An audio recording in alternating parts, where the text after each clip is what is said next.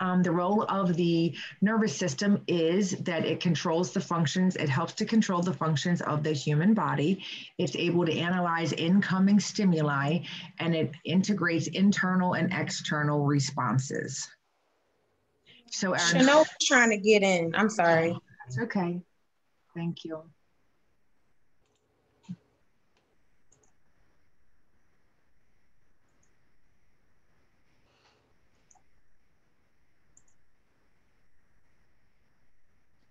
Um, the nervous system is made up of the central nervous system, um, the CNS, so that's the brain and the spinal cord, and the peripheral nervous system, which is um, the peripheral nervous system is composed of various sensor receptors that help bring that information into the central nervous system, and then those motor nerves that carry the information away from the CNS to facilitate a response to stimuli. The autonomic nervous system uses components of the CNS and the PNS um, to regulate autonomic or unconscious responses to stimuli. Ms. Davis, can you change the slides, please? I'm sorry. Yes. You must ain't see Amy um erase oh board. Every time I think I have my life together. Well, you know, is it why did you do it? Did you hold up something that said change the slide? Yes. you did. I didn't see it, but that's so funny because Dr. Ertwine, when we um, like have meetings and stuff, she made this cup that says you're on mute, so that when people start talking and they're on mute, they know. Maybe you, maybe she should make you a, a mug, Amy, and you can just hold it up that says change the slide. every time I think I have my life together. Okay. So, what is the function of the nervous system, of the cells that make up the nervous system? Um, the structural unit of our nervous system in the nerve cell is, we call it the nerve cell, or it can also be called a neuron. Um, there's billions of nerve cells that make up the nervous system, and they're all organized in a certain way that it allows movement. Um, it allows the realization of various sensations and it provides response to internal stimuli, external stimuli. It helps stimulate learning, our thinking, and our emotions. So this is just a picture of the neuron. Um, each neuron is made up of a cell body, or you can also call it a soma, um, which contains the nucleus, the cytoplasm, um, various different granules, and there's other particles in there. They have short branch-like projections that cover most of the surface. They're known as dendrites. And these structures um, provide an increased surface area for those neurons to travel, and they bring information into the neuron from other surrounding neurons. So this stuff should all kind of be like a um, review from anatomy and physiology. So all like all other cell membranes, the nerve membranes also have various channels or pores that control the movement of different substances in and out of a cell. Um, some of these channels allow the movement of sodium, potassium, and calcium when the cells are at rest, their membranes are, per, are impermeable to sodium. However, the membranes are still permeable to those potassium ions.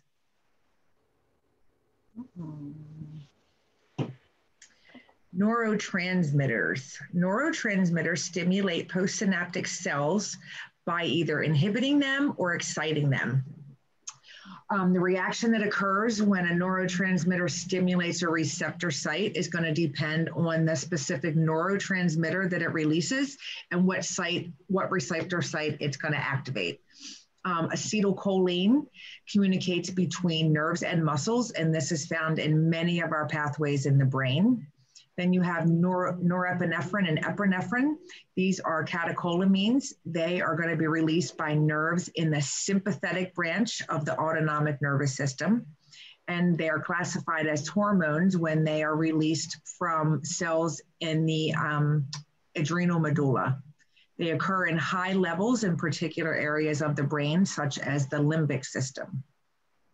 And then dopamine, which is found in very high concentrations in certain areas of the brain, is involved in coordination of our impulses and our responses in our both in both motor and intellectual responses. Then we have our GABA, which is found in the brain.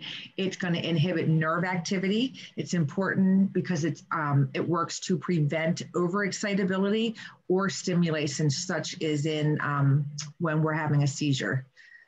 And then we have serotonin, which is also found in the limbic system. It's important in arousal and sleep, as well as preventing depression and, mod- and promoting motivation. So this is just an anatomy of the brain. Um, this is in your book if you guys want to take a look at it. So anxiolytic and hypnotic agents. So, oops. All right, so anxiolytics, they are drugs that we use to depress the central nervous system. It prevents or reduces the signs and symptoms of anxiety. Um, we have sedatives, which are drugs that depress, that depress the CNS. These can produce a loss of awareness they can also provide a sense of calmness for the patient, and it can make um, patients unaware of the environment. And we have hypnotics, which are drugs that are also used to depress the CNS and they cause sleep. We have minor tranquilizers, which are drugs that produce a state of tranquil tranquility in anxious patients. Um, some of the medicines that you will see um, used, some commonly used medications are um, Ambien, Buspirone, Lunesta, um, some antihistamines like promethazine, Benadryl. These are some of the medicines that you will see. Um, older patients are more susceptible to the adverse effects of these drugs um, because they more have more on um, anticipated CNS effects um, they're going to be subjected to um, increased uh, um, sedation. Um, they could be more dizzy than just a regular adult would because they're older. Um, they have a tendency to have hallucinations more than um, the younger class of adults.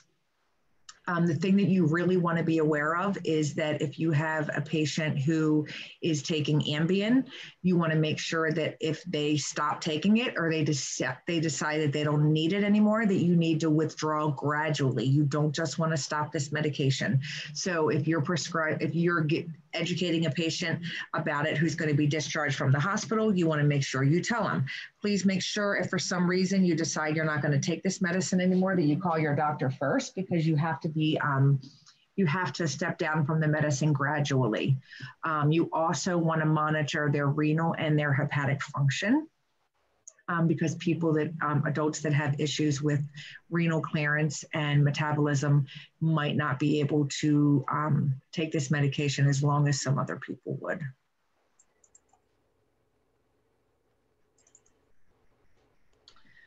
So when would we give so psychological states affected by these drugs so there's anxiety so anxiety is described as a feeling of tension um, some patients might say they feel nervous they feel apprehensive um, or they just are scared, they are fearful. Um, it usually involves unpleasant reactions to a stimulus, whether it's an actual or an unknown. So sometimes patients can also can tell you right away what they're afraid of, what they feel anxious about. Sometimes they don't know what it is, and they will describe it kind of like a feeling of um, impending doom. They don't really know why they feel anxious. They can't relate it to anything. They just feel anxious. Um, sedation is the loss of awareness and reaction to environmental stimuli.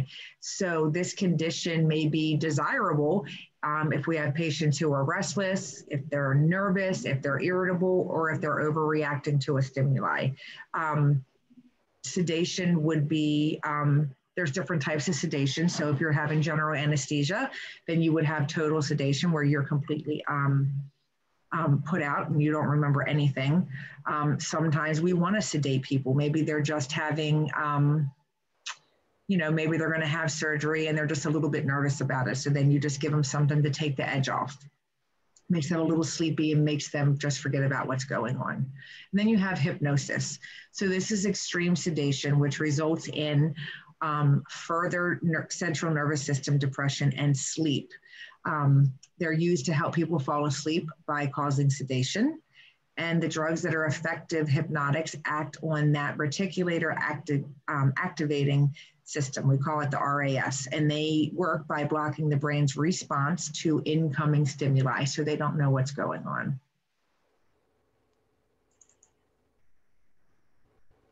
So these are the sites where we're going to see these medications work. Um, you can look at this book. It, um, you can look at this slide in your book. It shows you where the reticulator active um, system is right there. There's the cerebellum. And then um, right here, it's going to show you where these um, benzodiazepines work. Um, you can read more about it in your book. It goes into a lot more detail. I'm not going to quiz you on anything like that, but you can look at it if you want to. So benzodiazepines, how do they work? They act in the limbic system of the brain and that reticular activating system to make GABA more effective, which interferes with neuron firing. This leads to an anxiolytic effect at doses lower than those required to induce sedation and hypnosis when would we give these medications? We would give them to patients who have anxiety disorders. Um, we give them to prevent anxiety because they don't cause, they're not associated with um, a lot of sedation. We give these medications to patients who are withdrawing from alcohol. It helps limit their signs and symptoms that we see. So um, unlike certain drugs, you can withdraw from them and not die. With alcohol, you cannot. So if you have a patient that's been drinking for a long time and they're going through withdrawal, they can have a seizure and they can die. So it's really important that you are doing those what we call CIWAs. Um, it's where we look at our patients' signs and symptoms and vital signs every four hours, and we every for every symptom that they have or every vital sign that we check, it gives them a number based upon what their reaction is. And if they score a certain number, then we have to give them a certain medication um, to help decrease those symptoms and to prevent them from having a seizure and dying. Um, we can also use it for hyperexcitability or agitation. And then we can do preoperative relief of anxiety and tension. Um, so again, patients sometimes are very, very anxious about having a procedure. They're very tense. So this just helps to relax them a little bit. And then when they have their anxiety, it kind of builds on that and it helps to put them out. So pharmacokinetics. So benzodiazepines are well absorbed in the GI tract. Um, peak levels usually are achieved in 30 minutes to two hours. They are lipid soluble um, and well distributed throughout the body. They do cross the placenta and they enter breast milk. Um, the benzodiazepines are metabolized extensively in the liver. Um, patients with liver disease have to receive smaller doses, and you want to make sure you're monitoring them closely. So, these patients are going to be your alcoholic patients. So patients come in, they're withdrawing from alcohol, their en- liver enzymes are going to be elevated because they're alcoholics. Um, so you're going to want to give them the medications, but then you're going to want to monitor those um, labs every day. And then excretion is primarily through the urine. So what else do you think you're going to have to monitor? Kidneys. Kidneys. Yep, you got it.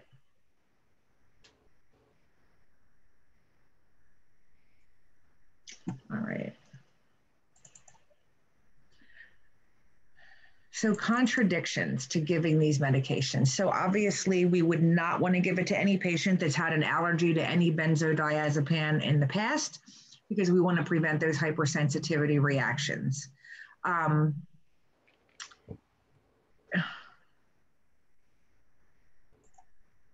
If they have a history of any psychosis, you want to be careful with that because sometimes um, these benzodiazepines can have an exacerbation like effect on them and make the psychosis work, I mean, worse. Um, patients ha who have acute narrow angle glaucoma, you want to give it um, cautiously in those patients. Um, coma, acute alcoholic intoxications, um, all of these can be exacerbated by um, depressant effects of these drugs. So. Ms. Davis, Ryan, Ryan is waiting to get back in. Yes, I just let him back in, I think. Okay, so you want to use these cautiously um, in pregnant women. We said earlier that they do cross the um, the placenta and they do enter the breast milk. So there are um, some um, medication books say that there is a um, possibility that if you use this when you're pregnant, that the child could be born with um, a cleft lip or a cleft palate. Um, they could also have inguinal hernias or maybe even some heart issues. They could have microcephaly. And even um, some children have been born with pyloric stenosis. Um, so taking these medications in the first trimester is not recommended. Um, if the parents take it through pregnancy, especially towards the end, the neonatal might go through withdrawal and have to stay in the hospital a little bit longer, and then they're going to have to wean the baby off the medication as well. Um, breastfeeding, you would not want to give these um, medications to a mother who's breastfeeding because it goes through the milk. Um, all of these drugs now come with a black box warning. Um, a black box a black box warning is a type of warning that's going to appear on the insert um, for certain medications. Um, it comes from the Food and Drug Administration. So the warnings that it has, they call it a black box warning because it's going to have a specific warning and it's going to be surrounded literally in a black box. It's the strongest warning that the FDA can make. Um, and it signifies that medical studies on that drug carry a significant risk of serious or life threatening adverse effects. So, this is a black box warning drug. Um, you want to be careful when you're giving these to your patients because they can produce profound um, sedation. They can cause respiratory distress, coma, or death. Um, you always want to use the smallest dosage possible. Dosage should be limited and your patients should be monitored closely. So when you give these, um, some of these you'll give IV, some of these are PO. You're going to make sure you check those blood pressures before you give it. You're going to check make sure you check their respirations and their pulse because if they're already low, you don't want to um, give them these medications. You're going to want to ask the doctor to order something else um, that's not going to have so such a profound effect on their vital signs. So some of the um, adverse effects that you will see are sedation, drowsiness, depression, lethargy. They might have blurred vision. They might be confused. Um, you see this a lot of times in um, in older adults. They're very, very, very sensitive to these medications. You have to use them very cautiously. Um, and some doctors won't even order them because they have a hard time with them. Dry mouth, constipation. Whenever you think benzo, whenever you think any kind of narcotics or benzodiazepines like this, barbiturates, you want to think, are, should they have a stool softener? Um, they should have one on hand because it does cause constipation. You want to um, increase their fluid intake because they're risk of constipation. Um, Sometimes you will give these medications at the same time as you give an anti nausea medication because they cause nausea and vomiting. So, if you've already given it to your patient once before and you know that they got nauseated or they vomited from it, you might want to um, make sure that the doctor orders some Zofran and give that to them about 10 minutes before you give them this medication. And that way it can help prevent some of those symptoms. Um, it's to, it can cause hypotension and then urinary retention. So a lot of side effects for you guys to watch for. Drug interactions, um, there is a risk of CNS depression if you take benzodiazepines with alcohol or other CNS depressions such as opioids. So you want to educate your patients to avoid that. Um, there also is um, an increase in the effect when uh, the benzodiazepines, if you take them with um, cimetidine, which is an acid reducer for the stomach, um, if the patient is on oral contraceptives, oral contraceptives, or if they take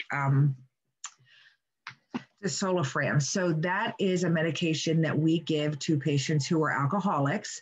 Um, when they take this medication, if they drink alcohol while they're taking it, it's going to make them deathly ill. They're going to feel like they have the flu. They're going to be vomiting. They're going to have diarrhea. Um, it keeps them from. It keeps them. It is, it's a deterrent to keep them from drinking. Um, so they definitely do not want to take those two medications together.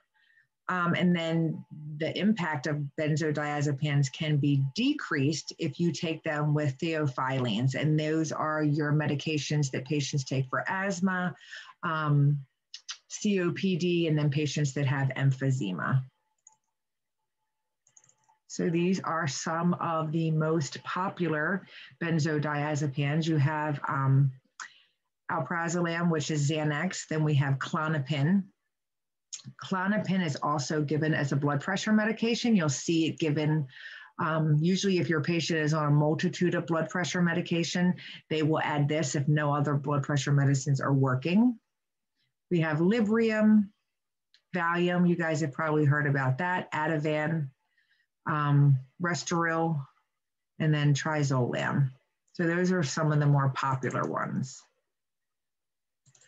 So now we're going to talk about barbiturates. So they are CNS depressants also that inhibit that inhibit neural um, impulse conduction in that ascending RAS system. They, depre- they depress the cerebral cortex, they alter cerebral function, and they depress motor output. They can cause patients to um, be sedated. You can put them in a state of hypnosis. Um, they use it during anesthesia. And in extreme cases, it can put patients into um, a coma. All right, so when would we give our patients barbiturates? So they are indicated for the relief of the signs and symptoms of anxiety, um, sometimes for sedation, um, insomnia, pre-anesthesia, so before they go into um, actually go under anesthesia, and for the treatment of seizures. So it has on this slide that it is used for anxiety. So I want you guys to understand that we don't, it's no longer considered the mainstay drug for anxiety. Um, it is indicated in the drug book that you can use it for that, and you can, but it's not widely used. Um, they used to be for a long time, but the adverse effects associated with them for um, the treatment of anxiety is not, um, it, the benefit's not worth the risk. So there's an increased risk of physical tolerance to the drug, and there's also an increased risk of psychological dependence to this medication. And then certain hypersensitivities can be fatal. So for the um, for recommendation of anxiety, we do not see that we are recommending this drug anymore. I want you guys to remember that. Okay. Pharmacokinetics, it's very well absorbed in the GI tract. It reaches peak levels within 20 to 60 minutes. Um, they are metabolized in the liver, um, depending on the drug, and it's excreted in the urine patients with hepatic or renal dysfunction require lower doses um, in order to avoid those toxic effects. And as nurses, you want to be monitoring the patient closely and looking at those labs. So you're going to look at BUN, creatinine, AST, ALT. The AST and ALT are your liver functions. The BUN and the creatinine are your kidney functions. Barbiturates are lipid soluble they readily cross the placenta and enter the breast milk. So, what do you think? What is some teaching you're going to do with um, with those patients? Don't take it if you're breastfeeding or pregnant. Pregnant, you got it. Hold on, I'm just letting some more people in.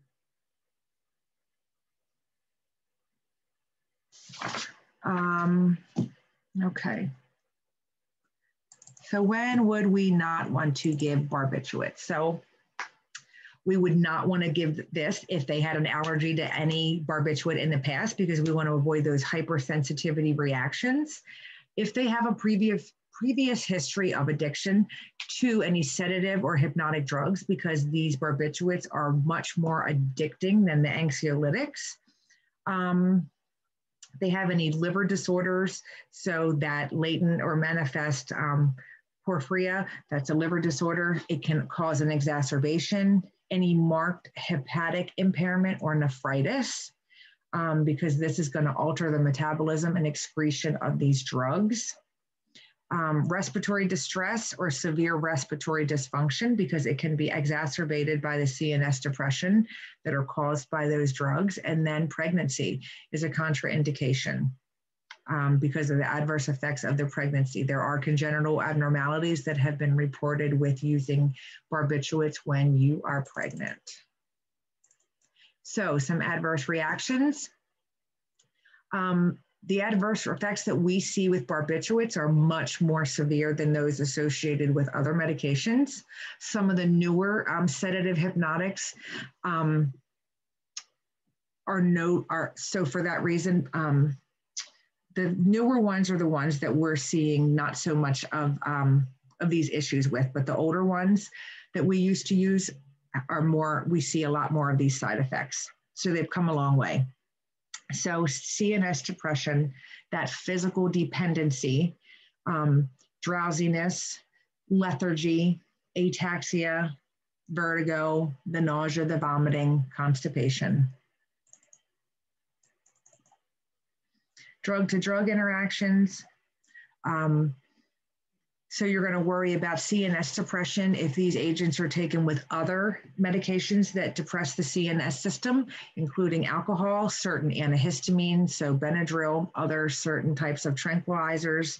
Um, there is an altered response to um, um, phenytoin if it's combined with um, barbiturates so you want to make sure that if the patient is ordered this combination that you want to talk to the pharmacist and see if you can order it for a different time of day, maybe early in the morning for one, late in the evening for another, or you can ask the doctor to just um, maybe one of these medications can be discontinued and they can find uh, a safer substitute for one of the medications.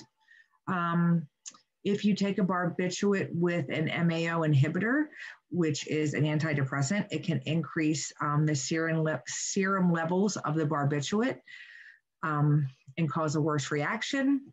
And then because of the effects on the liver, um, there's a list of drugs that might not be as effective. So these would be your um, oral anticoagulants, digoxin, which is ordered for, um, it regulates your heart rate, um, certain tricyclic antidepressants, um, corticosteroids that we would give for infections, um, oral contraceptives, estrogens, um, acetaminophen, metronidazole, which is an antibiotic, carbamazepine, and then you have beta blockers. So those are your medications that we give for hypertension.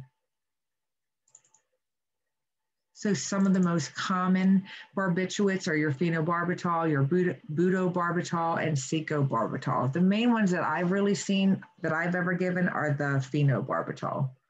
Never really given the other ones. All right, so antidepressant agents. So, the signs and symptoms of depression. So, depression is a very common affective disorder. Um, it involves the feelings of sadness that are much more severe and longer lasting than just the um, time that you anticipate that they would be. Um, it affects the mood of people who are depressed much more intensely than it does people who don't suffer from depression. Um, scientists have examined depression for many, many, many, many years. They believe, um, they theorize that um, depression results from a deficiency in what we call biogenic amines in key areas of the brain. So these biogenic amines include um, norepinephrine, dopamine, and serotonin. There's just three of them. So norepinephrine, dopamine, and serotonin. You guys will see that information again, so I want you guys to make note of that. Um, it's also in your book.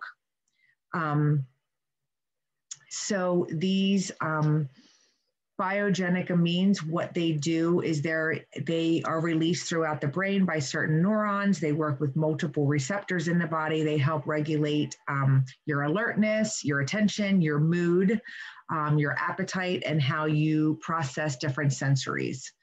Um, patients who have um, might report to you that are depressed that they have very little energy that they just don't feel like they want to do what they used to do. They've lost um, the drive to do things that they really enjoy. So maybe they normally um, play softball every spring, but they just don't feel like doing it anymore. It's something they really love. Or they used to, you know, bowl on a bowling league, but they don't even want to do that anymore. Um, they might report sleep disturbances, having trouble falling asleep, staying asleep.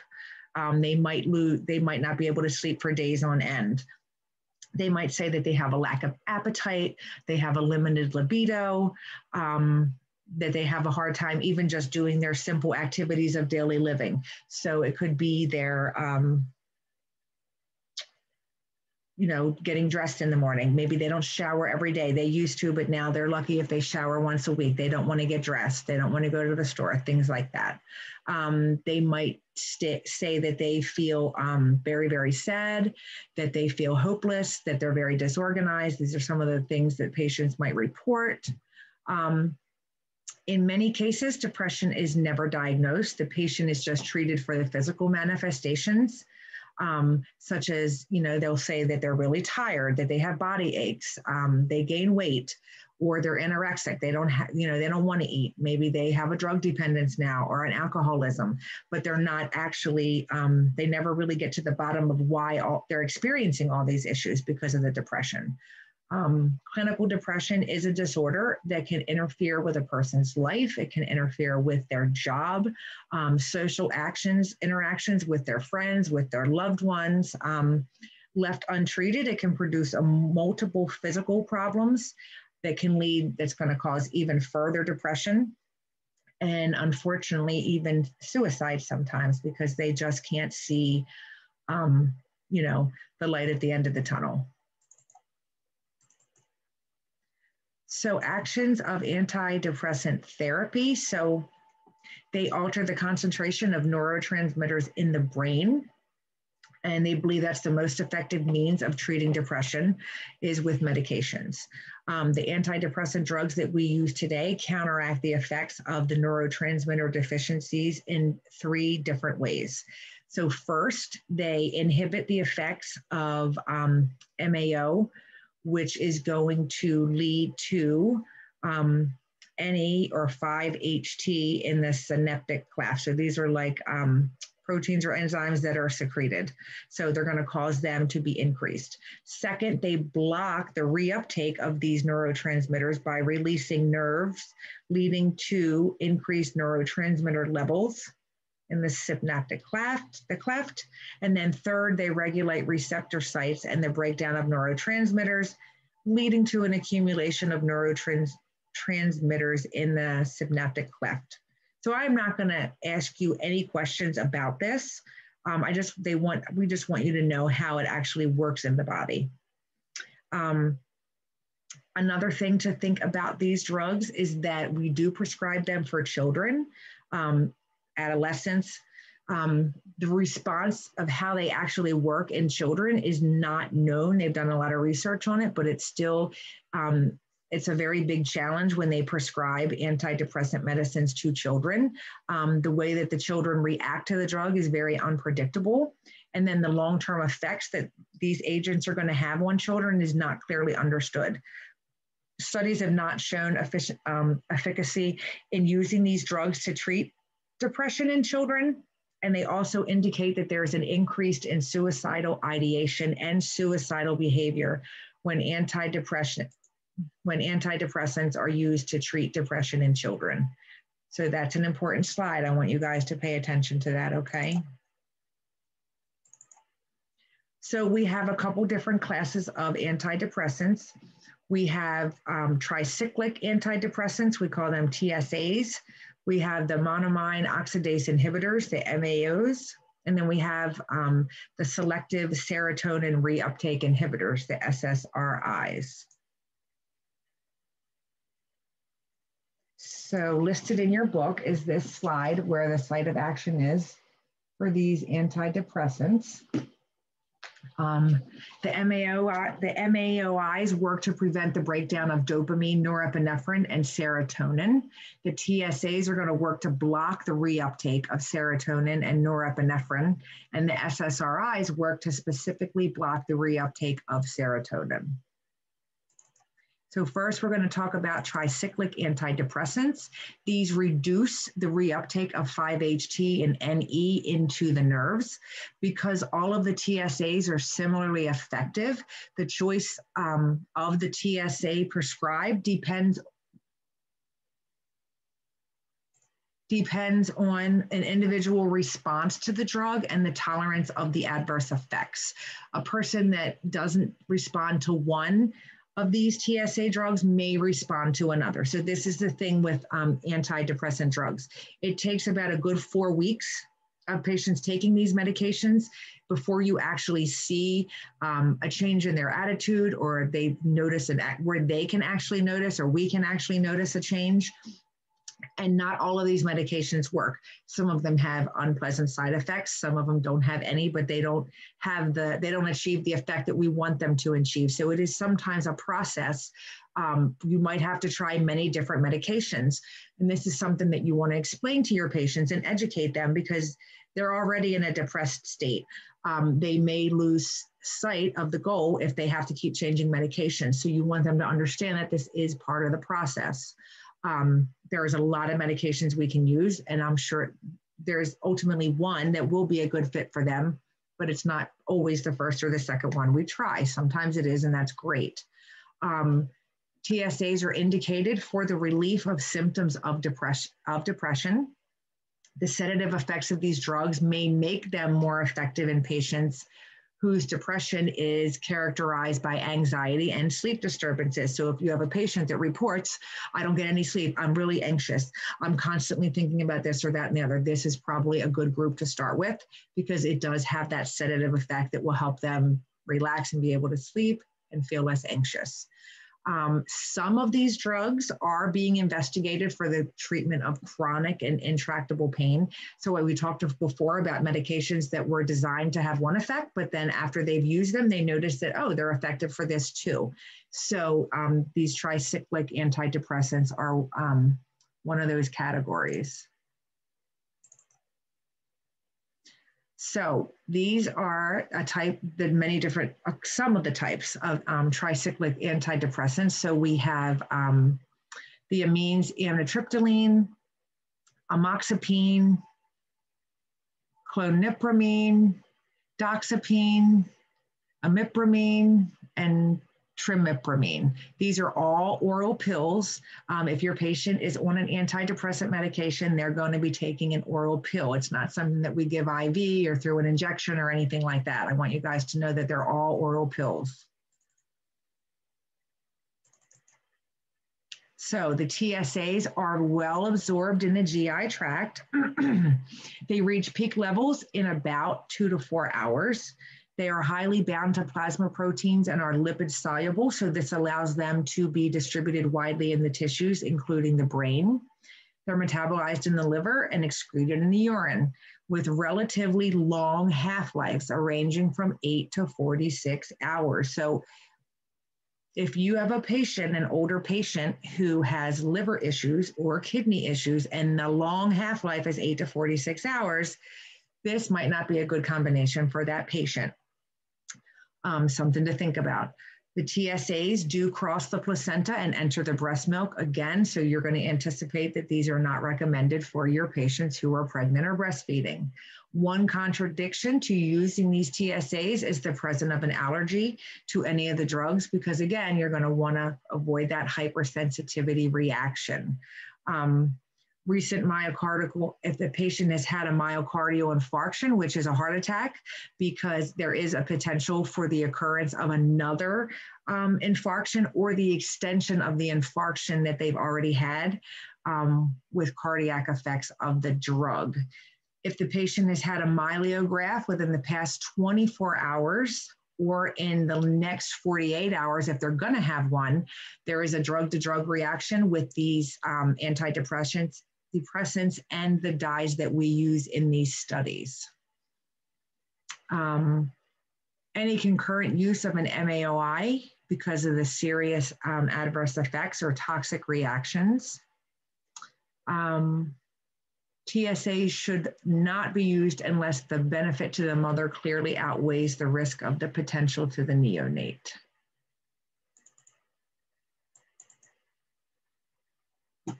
Um, so any adverse effects that we see from the TSAs are associated with the effects of the um, drug on the central nervous system. We want to use cautiously in patients with cardiovascular disease, angle closure glaucoma, um, if they have urinary retention or manic depression. Um, depression. They may lead to GI anticholinergic effects, such as dry mouth, um, constipation, they could be nauseated, they might vomit, they might have a loss of appetite, um, increased salivation, cramps, diarrhea, um, urinary retention, um, hesitancy. So that means that they have, they kind of have like trouble starting a stream when they have to urinate, um, loss of libido, changes in sexual function. The cardiovascular effects you're going to see are some orthostatic hypotension, um, they could also have hypertension. They could have cardiac arrhythmias. Um, they could have a heart attack. They could have angina, um, heart palpitations, and stroke. Um, some patients that use this have reported effects with alopecia, so they've lost their hair. Um, weight gain is, or loss is something that you see with these medications. Normally, weight gain is what I see. Um, they might report flushing, they might report um, nasal congestion. Um, let's see.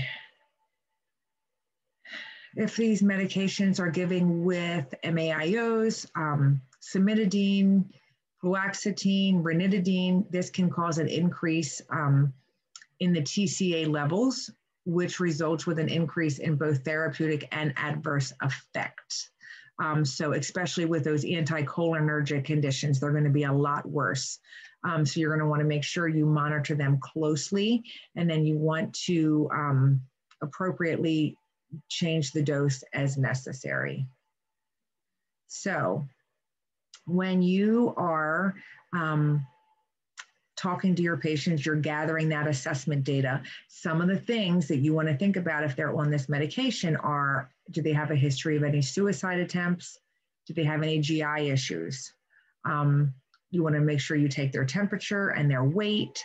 Um, you want to look at their skin color and note any lesions. Um, you want to look at their affect. So, what is their affect? Do they smile in response to you? Do they look away? Do they um, not interact with you? Um, do they seem like they're on edge or super, super relaxed? What's their orientation status? Um, you want to check their reflex. You're going to monitor their blood pressure, um, including that orthostatic blood pressure. you're going to check their pulse and their perfusion. You're going to check their respiratory rate. Um, you want to monitor for any adventitious lung sounds. And then you're going to listen for bowel sounds. Um, so these are all in um, response to the adverse side effects that we can see. Um, again, when we give these medications to children, um, they can cause an ad, they can cause um, suicidal ideations. So you're going to want to make sure that you're assessing do, have you had a history of any suicide attempts? Do you have any suicidal ideations now? Do you feel like you're at risk for hurting yourself? Do you feel safe? These are the things you're going to want to ask them. And that is important information. You guys might want to know that slide. So your MAIOs, MAOIs, sorry, these irreversibly inhibit MAO, which is an enzyme that we find in our nerves and other tissues like our liver. It helps break down those biogenic amines, that norepinephrine, the dopamine, um, and the 5-HT, and it helps to relieve depression. It allows um, ser- it allows serotonin, norepinephrine, and dopamine to accumulate in the synaptic cleft. They are generally indicated for the treatment and signs and symptoms of depression in patients who cannot tolerate or do not respond to other safer antidepressants. So, this is not the first class of medication that would be chosen to treat a patient with depression. This is the patient who's gone through multiple um, antidepressant depressants and they have not seen any relief. They are well absorbed from the GI tract. They reach peak levels in two to three hours. Um, they're metabolized in the liver and they're excreted in the urine. Patients with liver or renal impairment and those known as slow um, acetylators may require lower doses to avoid exaggerated effects of the drugs. These also cross over the placenta and enter breast milk. Contradiction. So we would not give an MAOI if a patient has previously had an allergy to any of these antidepressants because we don't want that hypersensitivity reaction. Um, if they've had um, if they've had a history of phenochromatosia, um, or any kind of cardiovascular disease because the sudden increase in those NE levels could cause severe hypertension and it could cause a cardiovascular emergency because the blood pressure raises so high.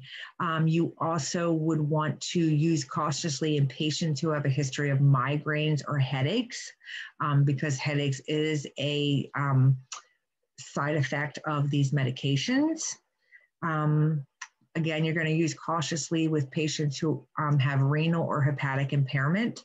It can cause, um, the, it can slow down the metabolism and the excretion of these drugs and allow the drug to accumulate, which can cause toxic levels. Um, you would not want to use these medications if your patient had a myelography within the past 24 hours, or if they're going to have one in the next 48 hours, because we said earlier they have that reaction with the dye and the medication um, MAOIs are you are associated with adverse side effects.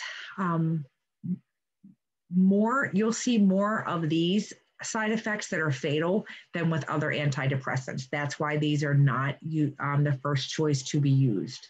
Um, the effects that we see are related to that accumulation of the um, NE in the synaptic cleft. So you're going to see dizziness, um, overexcitement, nervousness, sometimes mania, hyperreflexia. Your patient could have tremors, they could be confused, um, insomnia, they won't be able to sleep, they might be agitated, they might report blurred vision. Um, nausea, vomiting, diarrhea. I mean, there's so many side effects. Constipation, anorexia, which is that loss of appetite, weight gain, dry mouth, abdominal pain, urinary retention, dysuria, um, incontinence, changes in sexual function, and then those cardiovascular effects that we're going to see. That's going to be your orthostatic hypotension, your arrhythmias.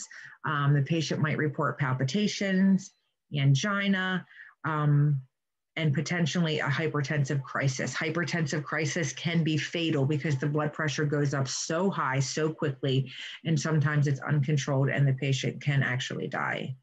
It's pretty serious. Drug to drug interactions. Um, any other antidepressants that can cause a hypertensive crisis, it can cause a coma. Um, methyldopa, which is a, sim, a SIMPA Thomimetic effects, it's going to cause an increase in those effects. If your patient is on insulin or um, any oral anti-diabetic agents, it can um, cause hypoglycemia. And then there would be food interactions um, with tyramine or presaramine. Those two um, used together, those foods with um, the MAOIs can cause an increase in the blood pressure, not the hypertensive crisis, but just an increase in blood pressure. So um, what are some of the MAOIs that we see? We have Parna, Parnate, Nardil, and Marplan. Those are the three that are usually um, prescribed, again, not used in patients who did not respond to or could not take um, the newer, safer antidepressants. Um, because of the um, adverse effects being so bad and then fatal. That's why this is not the first class of medications that we prescribe. So the SSRIs, these are the newest group of antidepressant medications. They are, um, they specifically block the reuptake of 5-HT and they have little or no effect um, known to on the NE. Um, because SSRIs do not have a lot of the adverse side effects associated with the TCAs and the MAOIs, they are a better choice for many patients. They um, block the reuptake of 5-HT, which increases the levels of 5-HT in that synaptic cleft and can contribute to the antidepressant and other effects that are attributed to these drugs. They're indicated for the treatment of depression, obsessive compulsive disorder, panic attacks, bulimia, um, premenstrual, premenstrual dysphoric disorder, post traumatic stress disorder, social phobias, and social anxiety disorders. I also see them prescribed just for anxiety as well. Um, so when you're, you know, when you are educating your patients when they start to take these antidepressants, again, you're going to just want to remind them that it's going to take at least four weeks for them to be able to see a change in their mute their mood. It takes um, up to four weeks before that drug reaches the full therapeutic effect. Um, so you are not going to want you're not going to tell them that they don't you know don't stop taking it after two weeks because you don't see anything. Don't stop taking it after three weeks because you think it's not working. Some of these medications will cause you to be dizzy at first. Um, it might cause a dry mouth. Some of their milder effects you want to tell them to try and stick with it because they might see it between the, the week one through week four but usually after week four those signs and symptoms stop. Um, if they start taking them and they miss a pill for a day or two, those symptoms might come back again. So you might want to educate that um, point. Um, let's see. Pharmacokinetics. They are well absorbed in the GI tract, metabolized in the liver, excreted in the urine and feces. Um, there's many different medications. So the, the half-life of these medications is too wide that we're going we're not going to cover them here because each of them have their own um, half-life. They're associated with congenital abnormalities in animal studies, so they are not recommended during the use um, if you're pregnant, only if the benefits to the mother are clearly outweigh the potential risks to the fetus. Um, they are contraindicated in the presence of an allergy to any of these drugs. Again, that hypersensitivity reaction could occur. You're going to want to use cautiously in patients with renal or hepatic function. It's going to alter the metabolism and excretion. That medication is going to build up in their system and cause a toxic effect. Um, patients with diabetes, they these these um, side effects can also be exacerbated. And then you should always use caution. Um, when using these medications with patients who are severely depressed or suicidal, um, especially those children, the adolescents, and the young adults, because there is an increased risk of um, suicide. So, one of the things they say with these drugs is um, why does it cause them to in why does it cause them to kill themselves if that's why we're giving them the medication because they want to kill themselves to begin with. How does it cause it to be worse? So what happens what they believe happens in a majority of the patients not every patient but when you're depressed and you're not you know performing your activities of daily living you don't have any energy you're fatigued all the time you don't have the energy to do anything you might have those suicidal thoughts but sometimes it's so bad you don't even have the energy to carry out the act of committing suicide or putting together a plan. So sometimes when they start taking this medication, they start to have energy again. Once they have energy again, then they can start thinking about the, the actual plan and actually committing suicide, and then they can follow through with their plan. So, in the majority of people, um, that's why the risk is indicated. Um, There are some reports that link SSRIs during pregnancy with pulmonary or cardiac issues with the newborn. Um, the SSRIs can enter the breast milk and cause adverse side effects in the baby. Um, so a, a, different method of feeding the baby should be selected if your patient's going to go on an SSRI. So this would be your patients who are having post, um, um God, what's it called? I can't think of it. Um, Yes, postpartum disorder. Very common. We do treat it with medication. And then unfortunately, they are not able to breastfeed anymore depending on the medication that we put them on. Adverse reactions. Um, headaches, drowsiness, dizziness, insomnia, anxiety, tremor, agitation, fevers, okay? This is not a side effect that we talked about on the other medications. I want you guys to make note of that. You might see that again somewhere. Um, these group of medications can cause a fever. They can cause a rash um, and some pruritus. Um, so you guys should know that. Um, let's see there is a risk of serotonin syndrome if we use SSRIs with MAOIs. Um, you would not want this combination to be implemented in a patient. Um, they can sometimes, but they, the doctor has to be very careful about the timing. Um, a period of up to six weeks after stopping an SSRI may be needed before they begin therapy with a new medication. So if they're on a couple SSRIs and they don't work, they certainly can try an MAO because remember we said the MAOIs we use if nothing else is effective, but they're ha- they have to wait um, sometimes for a period up to six weeks before they can start that medication. Um, serotonin syndrome is very serious. It can also be fatal. It's a reaction that can occur if the drugs are combined with any other drug or herb that increases levels of 5-HT in the body. Um, so other medications that would cause this, this to happen are other SSRIs, um, serotonin norepinephrine reuptake inhibitors, um, St. John's wort, that is an over the counter medication that you can get.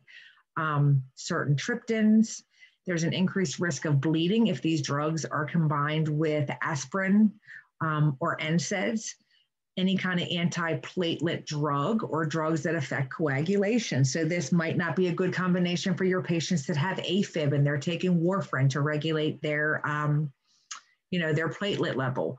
Um, if you have a patient that has a back issue and they're taking NSAIDs all the time because they have, you know, inflammatory pain, this is probably not a good medication for them.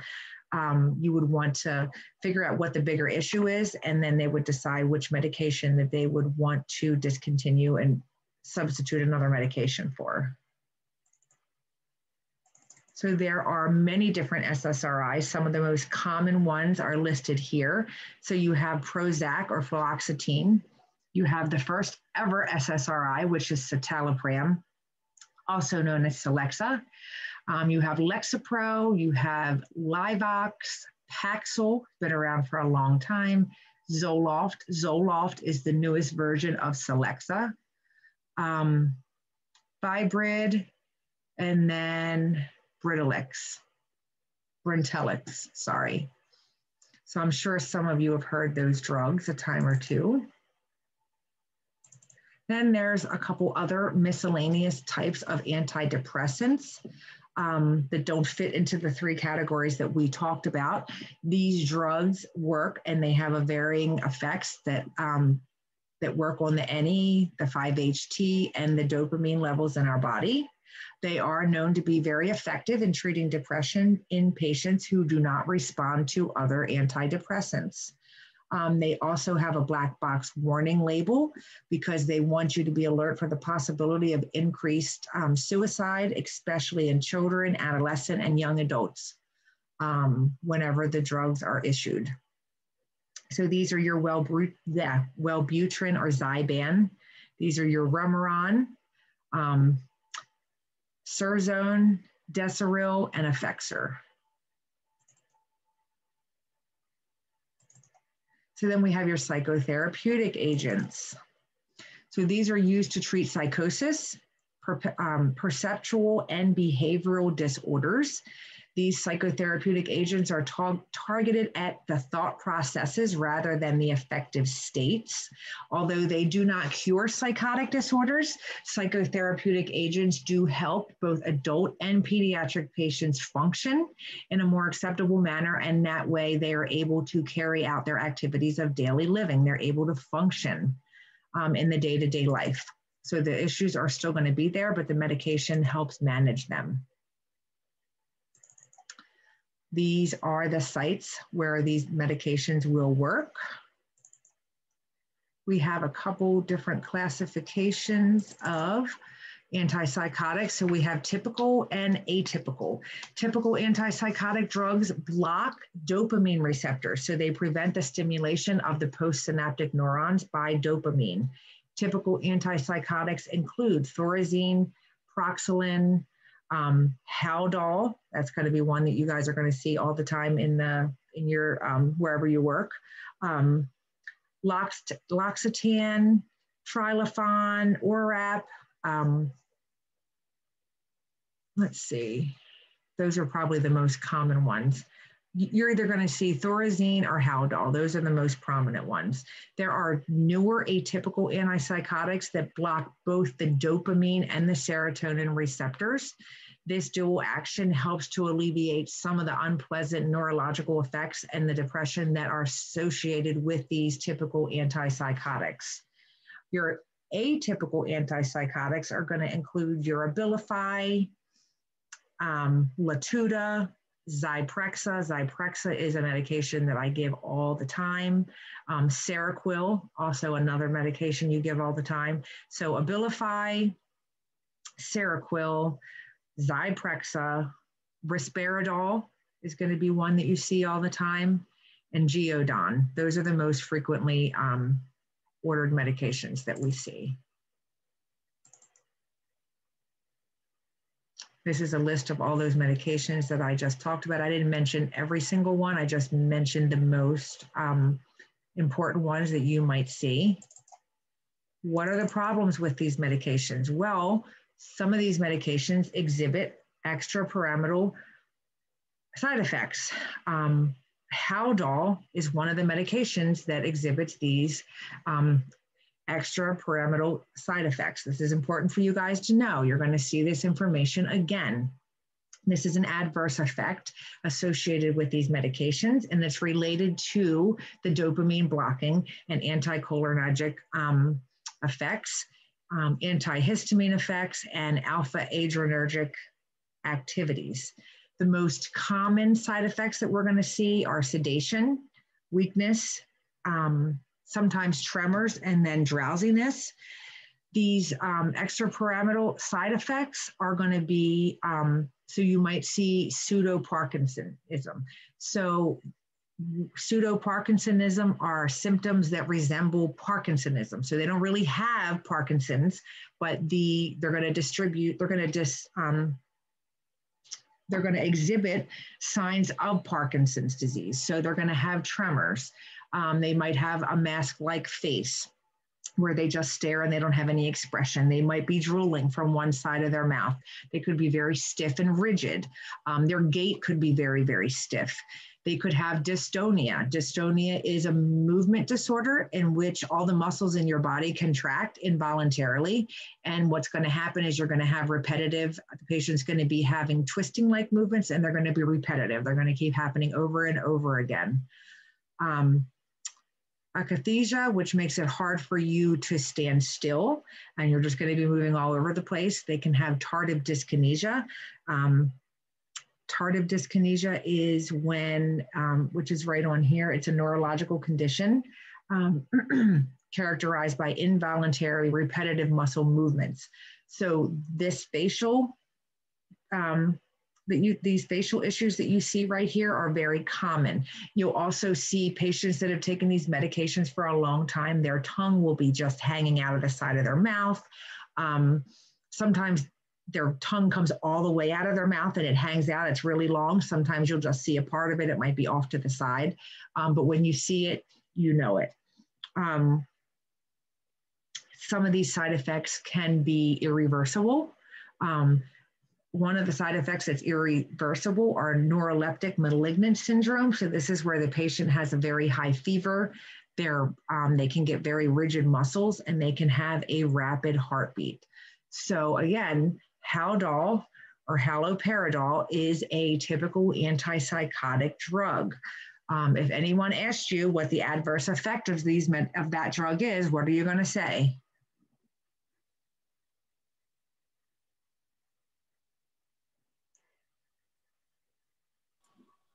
Any of them?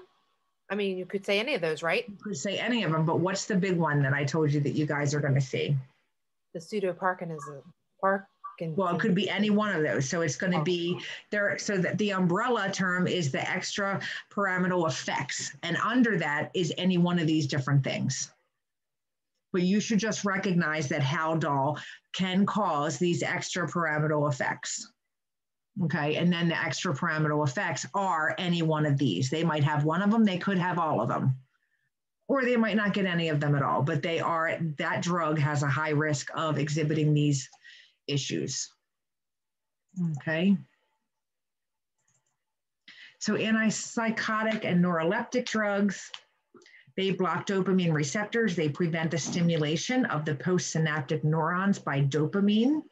They depress the RAS system, limiting the stimuli that is able to come into the brain. They also have anticholinergic, antihistamine, and alpha adrenergic blocking effects. Um, all of these are going to be related to the blocking of the dopamine receptor sites. Some of the newer atypical antipsychotic drugs block both the dopamine and the serotonin receptors.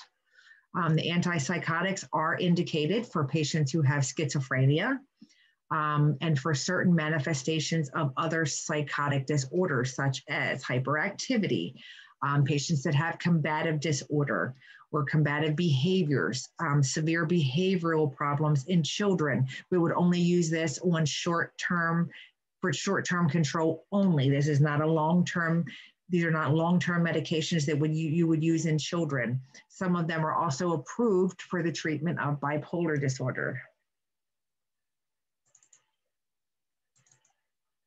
They are absorbed from the GI tract. They offer, unlike some of the other ones that only offer oral, we can give an IM dose. So when we give an IM dose, this provides four to five times the active dose as oral doses um, you would be given an IM dose to a patient who is severely combative, very, very confused. Um, some of these patients are going to be in your psych units. If they're not, if they're on your floor, they probably need a bed in a psych unit if you're giving them Haldol because it's really, it's going to knock them out quickly. Um, so these are your patients who are combative. They're pulling their lines out. They're hitting the staff. They're hurting the staff. They're at a complete danger to themselves and the staff.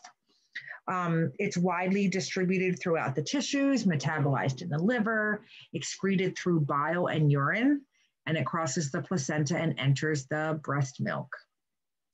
Um, they are contraindicated in the presence of underlying diseases that could be exacerbated by the dopamine blocking effects.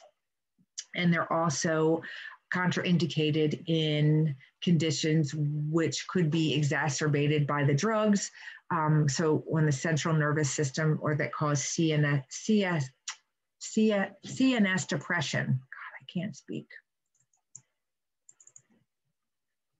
So some contraindications, so patients that have circulatory collapse, your Parkinson's patients, um, why do you think you wouldn't want to give this to a patient that has Parkinson's? what do you think is going to happen? What could happen to them? So we said that these patients, if we give them Haldol, they could have extrapyramidal effects, right? One of them is that they might have symptoms of Parkinson's. If they have Parkinson's, would we want to give them a medication that's going to increase their the side effects? No, because we give them medication every day to control those symptoms, but then we're going to go and give them Haldol and it's going to cause all those symptoms again. So we don't want to do that. Um, coronary artery disease, severe hypotension, and then patients who have bone marrow suppression. So these would be your chemo patients, HIV patients, patients who take immuno um, medications, Antipsychotics are contraindicated for use in elderly patients with dementia because this is associated with an increased risk of cardiovascular events and death. Um, it does cause prolongation of the QT interval, and it's a con contradiction to the use of some of these meds. So thorazine is one, um, ziprasidone is one, um, they all can cause further prolonging of that QT interval. You would see this on an, an EKG.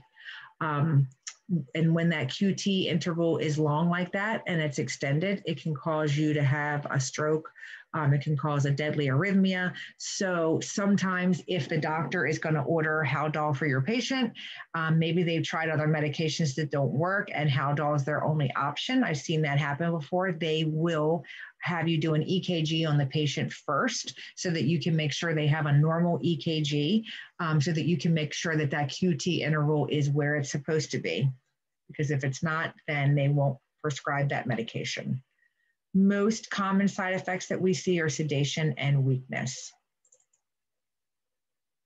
And that's really what you want to do in your patient that's being combative. You want to calm them down and keep them in the bed and keep them from abusing you. So these are not, you're not going to give Haldol to your sweet little old lady who just keeps trying to get out of bed. You can use um, restraints on her, you can use a sitter. These are your patients who are like beating up the staff, threatening to hurt themselves, ripping out everything, trying to destroy the room. Um, that's when you want to use Haldol. So some of the adverse reactions are tremors, drowsiness, those extrapyramidal effects, dry mouth, nasal congestion, constipation, um, you don't want to use if the patient is taking a beta blocker, which is a hypertensive medication, um, if they've been drinking alcohol um, in combination with that um, thioridazine and uh, mesoridazine. I know I murder these medications every time I say them. I hate repeat. I never know how to say them. I always, they always give two, and I always choose the one that's the easiest to pronounce um, and then monitoring that QT interval.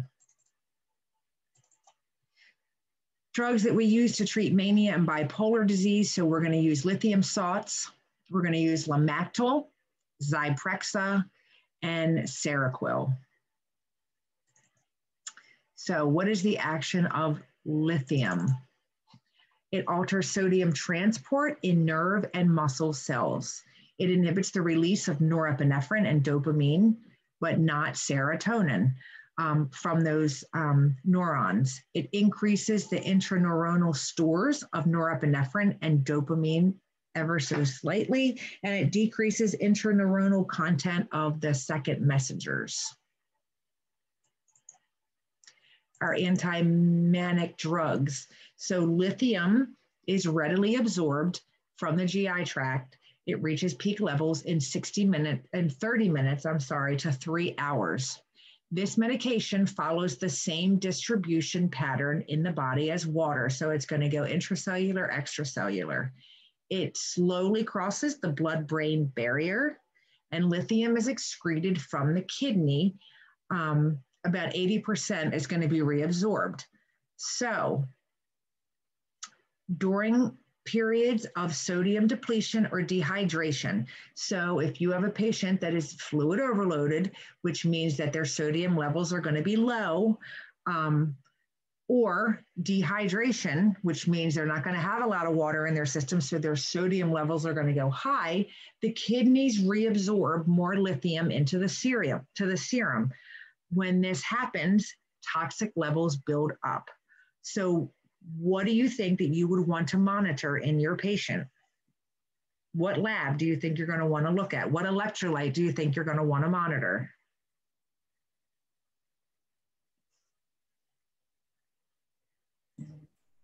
Sodium? Sodium. Yeah, very good. Want you guys to remember that. You're going to see that information again. So, in your patients that have fluid overload, they have a lot of excess fluid. It might be your congestive heart failure patient. Um, or your patient that comes in that's dehydrated, they're not drinking all the time before you um, give them that lithium in the morning, you're going to want to pull those labs and see what those sodium levels look like. Because if not, the, the kidneys are going to reabsorb more lithium into the blood serum, and those toxic levels are going to um, increase, and it's going to hurt your patient. Um, so you're also going to want to do a lot of education and tell your patients to maintain hydration while taking this drug. Um, it crosses the placenta, enters the breast milk. It has been associated with congenital abnormalities. Um, you're going to want to use cautiously in patients that have had an allergy to this medication, any renal cardiac issues, um, leukemia patients, patients with any metabolic disorders like um, um, diabetes, pregnancy, women who are lactating. Um, so let's see, what else? All right, I think that's all I wanted to tell you about that. All right, so the adverse effects that we see that are associated with lithium are directly related to the serum levels of the drug. So we want to be, we want to have a certain level of this drug in the system to be productive. Um, but we don't want too much. So for patients that have acute mania, the guidelines that we look at is when we pull these serum levels, we want to have a level of between 0.5 to 1.5. So if this medication is prescribed for acute mania, that's the drug level that you want, 0.5 to 1.5. If you have a patient that is on long-term control, so they're taking um, this medication all the time, then the level is a little bit higher. You're looking at 0.6 to 1.2 um, when those serum levels start creeping up. So when you are, or when they're less than 1.5, um, let's start at the bottom actually and work up. So serum levels greater than 2.5, you're going to have multi-organ toxicity. There's going to be a very high risk of death. Um, serum levels between 2 to 2.5. So you're going to have a progression of those um, CNS effects. So those clonic movements, ataxia, hyperreflexia, patient is going to possibly have seizures, um, possible cardiovascular effects that you can see. Um, if you did an EKG, you might see EKG changes. They might have had a normal EKG before and now it's abnormal. They might have hypotension. Um, they might have large output of dilute urine, which is going to be secondary to toxicity to the kidneys. Um, and then you might see fatalities secondary to pulmonary toxicity. Um, levels 1.5 to 2, you're going to have in, um, intensification of all the foregoing reactions with ECG changes. Um, and then levels less than 1.5, um, you could see lethargy, you can see slurred speech, you might have muscle weakness, um, there might be fine tremors, they might have polyuria. Um, this is going to relate to the renal toxicity, the effects on the kidneys, um, and then the beginning of gastric toxicity. So you might see nausea, vomiting, diarrhea.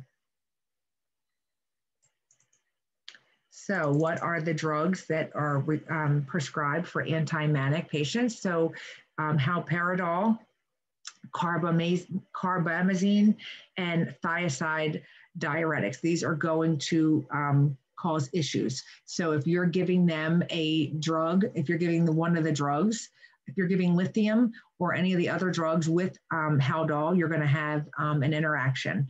If they are taking um, carbamazine with lithium, you might see an, inter, an interaction there. And then if they're on a thiazide diuretic, you're going to definitely watch them because that is going to affect their sodium level because um, we're pulling fluid out of their body. It's a diuretic.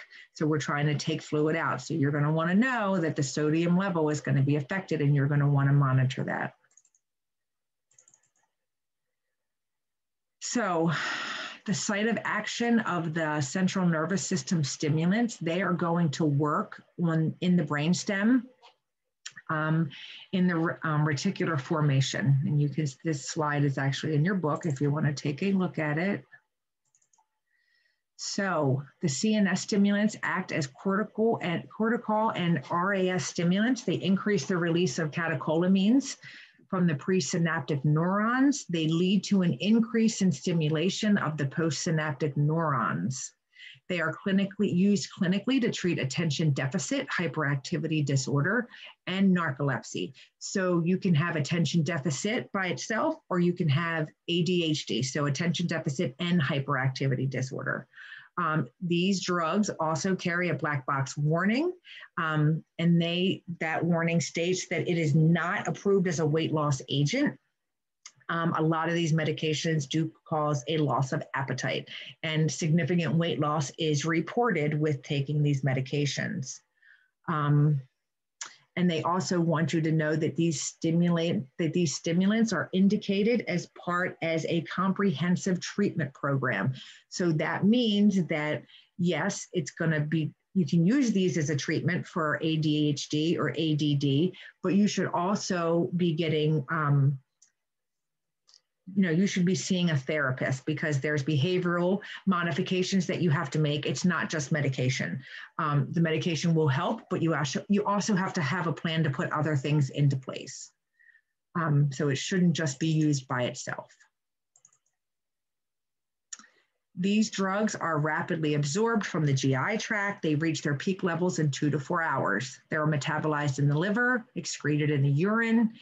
Half lives vary anywhere from two to 15 hours, depending on what medication they're taking. Um, safety for using during pregnancy and lactation has not been established. Um, it's recommended that these medications are only used if um, the benefit to the mother clearly outweigh the potential risk to the fetus or the newborn. They are contraindicated with a previously known allergy um, they are contraindicated in the following conditions. So patients that have a lot of anxiety, if they're agitated, um, if they are they have a lot of high tension, severe fatigue, glaucoma, um, these medications can exacerbate these issues. Um, also, patients that have cardiac disease um, or any kind of heart problems.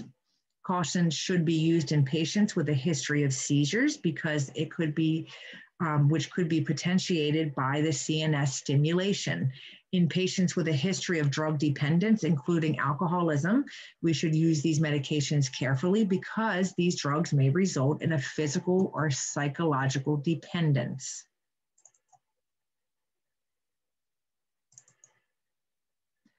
Adverse effect are going to be nervousness, insomnia, dizziness, headache, blurred vision, anorexia, nausea, and weight loss. These medications interact with the MAOs, MAOIs, um, guanethidine, the tricyclic antidepressants, and phenytoin. All right, guys, we're almost done. Anti-seizure agents. So your patients that have epilepsy. Epilepsy is the most prevalent of all the neurological disorders. It's not a single disease, but it is considered a collection of many different syndromes characterized by the same feature, which is a sudden discharge of excessive electrical energy from our nerve cells located in the brain. When that sudden discharge happens, um, we have a seizure. That's what they believe. Um, the release stimulates motor nerves, which results in convulsions, um, sometimes tonic clonic muscle contractions that have the potential to cause injury. They can cause tics or spasms. Um, it is believed that other discharges may stimulate autonomic or sensory nerves and cause different effects, such as um, some seizures are barely even noticeable, or the patient might just have a temporary lapse in consciousness. They won't be as noticeable as the patient that goes to, has convulsions and those tonic clonic muscle contractions. Um, epilepsy invo- involves a loss of control. It can be very frightening to patients and um, very frightening to their loved ones and people that are around them when they have a seizure. I don't know if you've ever seen anybody have a seizure. I've never seen anyone have one in the hospital, but I saw one a couple years ago at a bowling alley, and it before I was a nurse, and it was terrifying. Um, his eyes were rolling back in his head. He was throwing himself all over the floor. He was completely unconscious. He was foaming at the mouth. It's very scary. Um, so you're going to want to do a lot of educations with these family members and with the patients so that they know what to expect. And you want to educate the family members on how they can help protect them during these seizures because they're, you know, hopefully one of their family members is around when it happens because the patient can't do anything to help themselves. So there's a variety of different drugs that we use um, for treating seizures.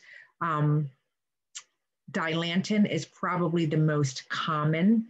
Um, Ethotoin is another one that I've heard of, but Dilantin is the one that I give all the time in the um, clinical setting. It is like the gold standard. Um, that medication is generally less sedating.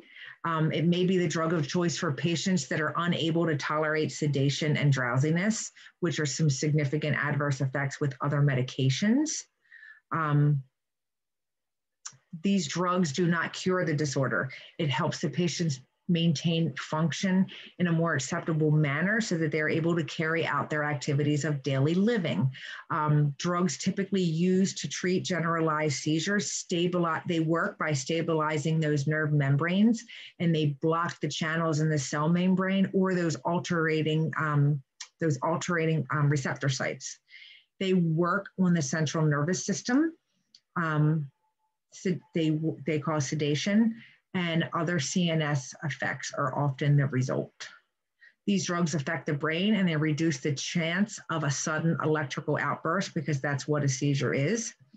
Those absent seizures, which are another type of a generalized seizure, may require drugs that are different than those um, to treat and prevent the generalized seizures.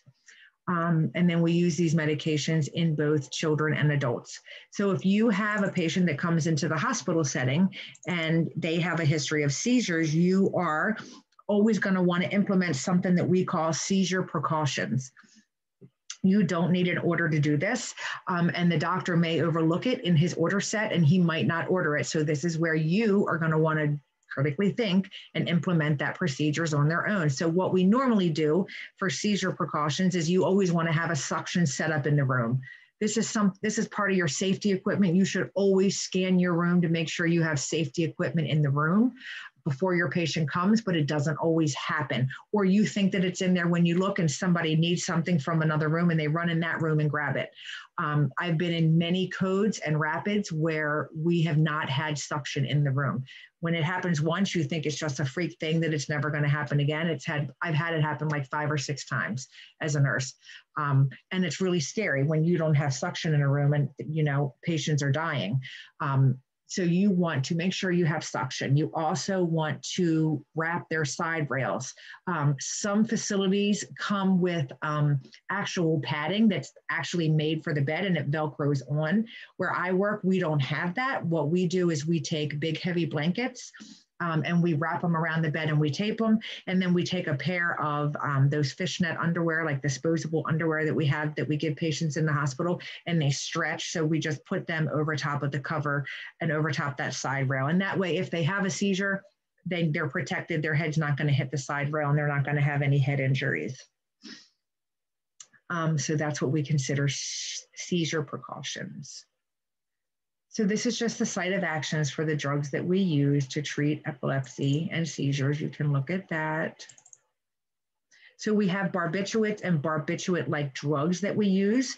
So this is would be your, um, let's see, these are going to be phenobarbital, um, primidone, also Mysoline, and then mephobarbital. Um, these are barbiturates. These drugs are associated with significant CNS depression. Um, the barbiturates and barbiturate type drugs inhibit impulse conduction um, in that reticular activating system. They and then decrease this, depress the cerebral cortex and they alter that cerebellar function and they depress the motor nerve output. Phenobarbital is available in oral and parental form. So if something is available in parental form, how are you going to give it? How are parental medications given? IV. I am IV. IV, you got it. Oh. Yep. So if they are taken um, orally, they're going to be absorbed from the GI tract, metabolized in the liver, excreted in the urine. Um, the drug is very low lipid soluble, so it gives it a very slow onset and a very long duration of activity. If it's given parentally, IV, um, which you would probably give in an emergency in the hospital, um, the onset of action is going to be five minutes. So five minutes can seem like a really long time. This is important slide. You guys might want to make note of this. When, if there's family members in the room and a patient's having a seizure and this medication is ordered and you go to give it, they expect to see, um, you know, a change in their status almost immediately. So you're going to want to educate them and let them know that although this medication does work quicker, it does take about five minutes that can seem like an eternity for a loved one waiting to, you know, when they're watching their loved one go through something like that. So that onset is about five minutes. You would want to, um, let's see, avoid these agents if they have any allergy. Um, some of these agents are associated with certain birth defects. So again, only use it if the risk outweighs the benefit, which it may, um, because seizures can kill you. Um, you want to use these very cautiously with elderly and debilitated patients because they can respond adversely to that CNS depression. Watch those patients with renal or liver function. I feel like that's every medication that we talk about. Um, mod, um, adverse effect are the main ones that you see are related to that CNS depression. So um, confusion, drowsiness, lethargy, fatigue, um, constipation, dry mouth, weight loss, um, sometimes cardiac arrhythmias, changes in blood pressure. Um, you might see urinary retention and then a loss of libido. They don't want to take with alcohol because it can um, increase the risks of the CNS depression. So you don't want your patients to take alcohol, be on, take, drink alcohol while they're taking this medication.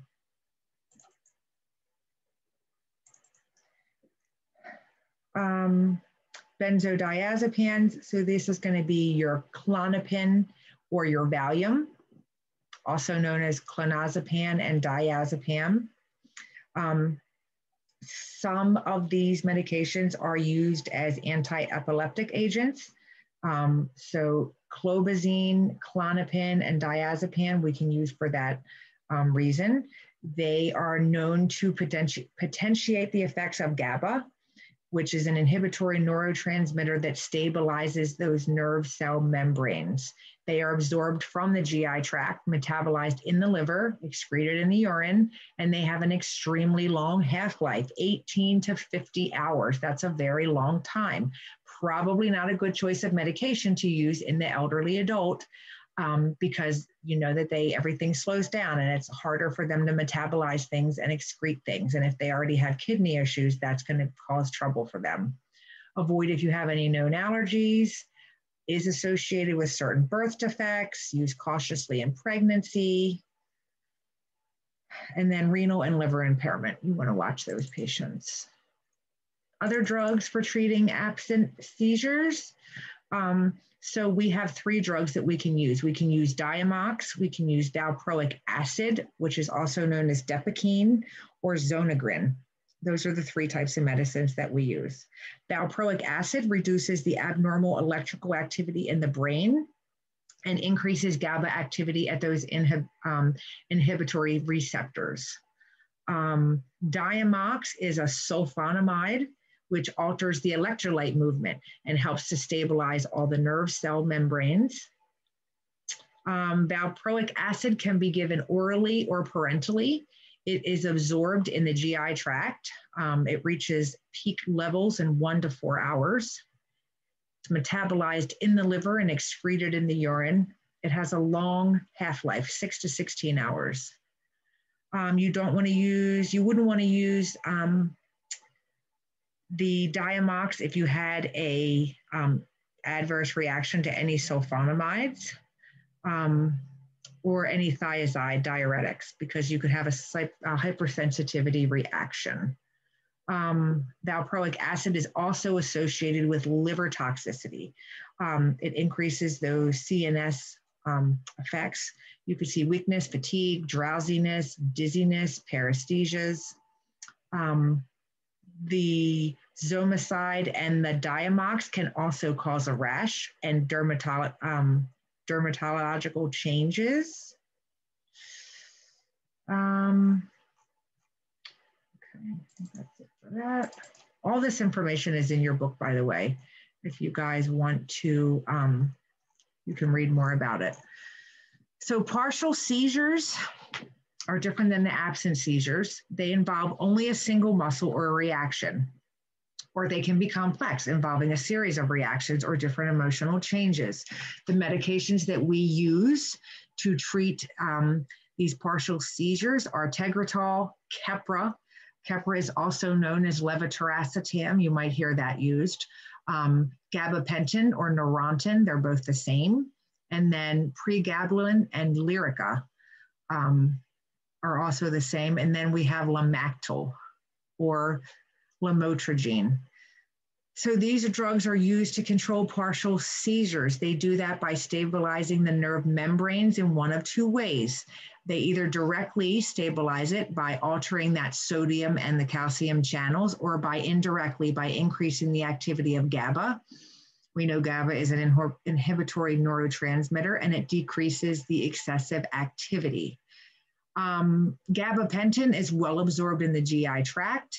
It's excreted in the urine. Pregabalin is reabsorbed, is rapidly absorbed orally, reaching peak hours in one to one to one and a half hours. It is not metabolized, but it is eliminated unchanged in the urine. Levetiracetam, rapidly absorbed from the GI tract.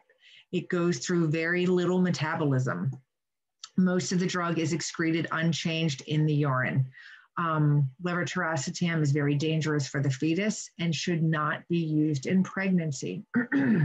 Contradic that contradiction to these drugs um, would be any presence or a known allergy to any one of these drugs. Um, patients that have bone marrow suppression, because it can lead to exacerbated drug effects, and patients with severe hepatic dysfunction. Um, they can experience drowsiness, weakness, confusion, headache, insomnia, um, nausea, vomiting, diarrhea, loss of appetite, upper respiratory infections. Um, they can be toxic to the liver and the bone marrow. They, you do not want your patients to drink alcohol while they're taking this medication. And then something, this is important for you guys to know, um, Lamictal or lamotrigine has been associated with a very serious or life-threatening rash. So if you are just starting this this med, your this medication on your patient and they call out and they say I'm itchy, I'm starting to have a rash, you go in, you would want to discontinue that medication right away. Do not give the next dose. Call the doctor. Um, make sure you write a good note in the um, chart. They're probably going to give you some Benadryl because you want to make sure that they don't have any, um, you know, side effects with their um, breathing, that their throat doesn't close up. Post, um, patients with renal dysfunction are more likely to experience toxic effects with the levetiracetam, or which is also the Keppra. Um, so you would want to be careful and mindful that the that the doctor is monitoring the dose that they get. All right, anti-Parkinsonism agents. So what is Parkinson's disease? Parkinson's disease is a progressive nervous system disease characterized by tremors, changes in posture and gait, and a mask-like facial expression. We do not know what causes Parkinson's. It's been, they've been experimenting with this um, with this um, disease for years. They don't know the exact um, cause. It is known that the signs and symptoms of the disease are related to damaged neurons um, in the basal ganglia of the brain. There are multiple theories about the cause of the degeneration of these neurons. Um, and they range from some believe it's caused by a viral infection, some believe it's caused by a, some type of significant blow to the head, um, possible brain infections, atherosclerosis. Um, exposure to certain drugs, and then they also believe certain environmental factors can cause this, but they're not really sure. So it is the loss of dopamine secreting cells, which result in a loss of inhibitory dopamine effect. That's what they believe is to be responsible for Parkinson's disease.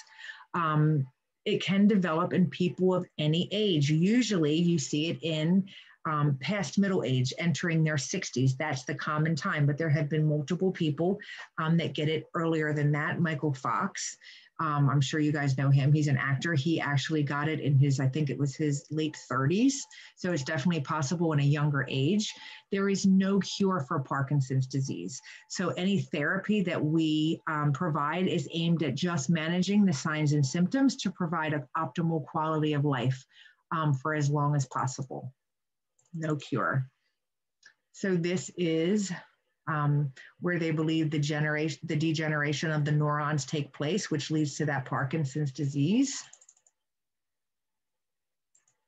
So we're going to give them anticholinergics. These are going to help with those symptoms. So you might see um, cogentin is one of the medications. Um, Artane is one. Kemadrin is one. These medications work they block the action of acetylcholine in the CNS, and they help normalize the acetylcholine dopamine imbalance. Um, it is indicated, obviously, for the treatment of Parkinson's disease, and it helps give relief of those extrapyramidal um, symptoms. It's absorbed in the GI tract. Peak um, time that you'll see the drug is one to four hours, metabolized in the liver, excreted by cellular pathways it does cross the placenta and enters the breast milk. Contradictions, any known allergies, if they have narrow angle glaucoma, any GI or GU obstruction or prostatic hyper, um, hypertrophy. Um, you want to use cautiously in patients who have a history of dysrhythmias, hypertension, hypotension, any kind of hepatic disease, or if they're pregnancy, if they're pregnant and lactating. Adverse reactions. It can cause disorientation, confusion, agitation, delirium, nausea, vomiting, paralytic ileus. Um, drug to drug interactions you would not give um, in the presence of a patient that's taking tricyclic antidepressants or phenothiazines. One of the most common medicines that I see given is levodopa. I give this all the time. Um, the one thing that you want to think about these medications is that these medications have to be given at a certain time. So, usually, when you give these medications, you give them throughout the day. You give them in the morning, you give them in the afternoon, you give them right before dinner, and then they get a dose, a dose before bedtime. And it's imperative if you have five patients and you're looking at medications, if your other patients are stable, this is going to be the patient you're going to want to see first because these patients, you have to control their side effects so that they can go about about with their activities of daily living. So being able to bathe themselves, get dressed, you know, get a shower while they're in the hospital, feed themselves. You're wanna, gonna, gonna wanna control those tremors, things like that. Um, these um, agents increase the effects of dopamine at the receptor sites, and they have been proven to be even more effective than anticholinergics in the treatment of Parkinsonism. So this is the gold standard medication that you will see given. Um, it is the mainstay treatment, um, the precursor of dopamine that crosses the blood-brain barrier, um, where it is converted to dopamine. It's almost always given in combination with carbidopa, which is a fixed combination drug, also known as Sinemet. The carbidopa decreases the amount of levodopa that is needed to reach the therapeutic level in the brain. So it helps that medication be more therapeutic. Um, the dosage of levodopa can then be decreased which reduces the adverse side effects. So there's a lot of adverse side effects with levodopa, but they combine it with the carbidopa because it'll decrease the amount that the body needs to get a therapeutic effect. So then in turn, they have reduced side effects. So when you see this medication in the clinical setting, it's going to be carbidopa by, and then after that, it's going to be the amount that's ordered, and then it's going to have a slash and say levodopa with that amount. I think it's like carbidopa 3 and then levodopa 125 milligrams, something like that. Um, but that's why that medication comes together. Um, more the dopaminergic drugs. You also have Symmetrel, which is a popular one. Um, I've given ropinirole, which is also Requip, and Mirapex. I've seen them given. These are all in your book. Um, they increase the levels of dopamine in the substantia nigra in the brain. They directly stimulate dopamine receptors in that area, and they help to restore the balance between the inhibitory and stimulating neurons. Um, they relieve the signs and symptoms of Parkinson's disease. They're well absorbed in the GI tract, widely distributed in the body, metabolized in the liver and the peripheral cells, excreted in the urine, and they cross the placenta. Contraindications to this medication, any known allergy, um, angle closure, glaucoma, any GI obstruction. Use cautiously in patients that have a history of cardiovascular disease, um, bronchial asthma, a history of peptic ulcer, urinary tract obstruction, and certain psychiatric disorders. Adverse reactions, anxiety, nervousness, headache, certain arrhythmias, blurred vision. Um, you want to use these cautiously in patients that take these and, the, and those MAOIs and then also in patients that take vitamin B6. And then ultimately, remember our goal of therapy is treating the disease. There is no cure. So you have your type 1 drugs and your type 2 drugs. Your type 2 drugs are your anticholinergic drugs that block the stimulant. And then your type 1 drugs, they increase the dopamine concentration. Um, some increase dopamine release, and then others stimulate dopamine receptors. All right.